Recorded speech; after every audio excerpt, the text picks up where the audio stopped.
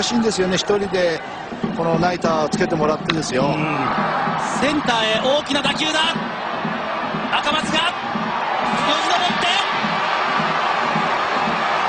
取りましたね、これ。取りました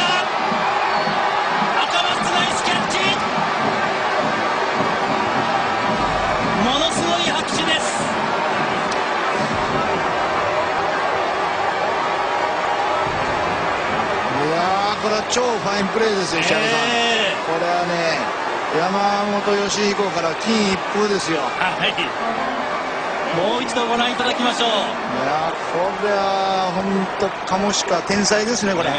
見てください、これね。うわー、これ、チンプレー、好プレーだったら好プレー賞は間違いないね。間違いないですねねえこれはもう。あのよくメジャーでねあのイチローが見せますけれどもいやいやこれはもうね、野球選手じゃなかったら、オリンピックの選手になれてますね、これ。